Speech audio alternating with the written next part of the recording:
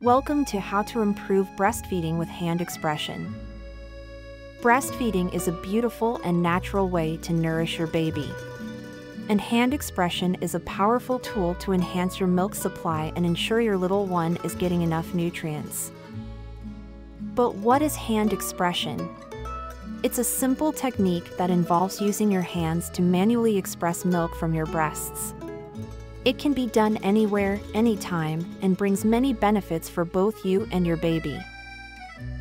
Let's get started.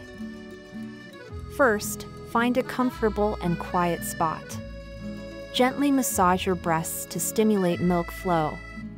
Cup your breast with your hand and use a pressing motion towards your chest, releasing the milk. Take your time and repeat this process on both breasts. Hand expression helps relieve engorgement, reduces the risk of blocked ducts, and even boosts milk production.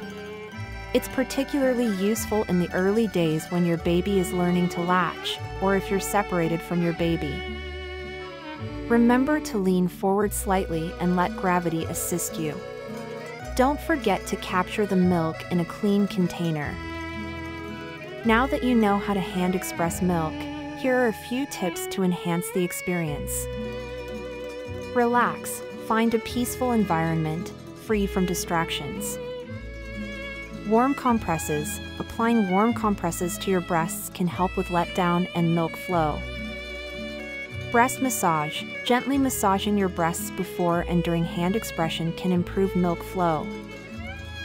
Switch sides, alternate between breasts to ensure both get stimulated. And there you have it. You now have the ultimate guide to enhancing milk supply through hand expression.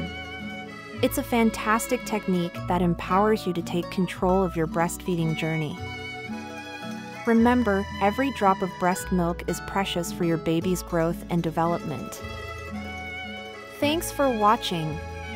Don't forget to subscribe to our channel for more helpful tips and videos on breastfeeding.